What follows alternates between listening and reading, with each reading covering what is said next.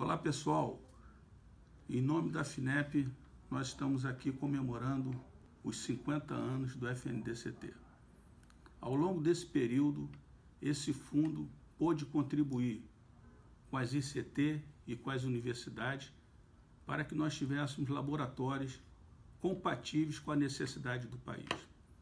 Esses laboratórios, naturalmente, puderam ser empregados por indústrias para geração de riqueza e essas riquezas puderam também proporcionar a melhoria da qualidade de vida. Hoje o FNDCT é um recurso importantíssimo para a sociedade brasileira.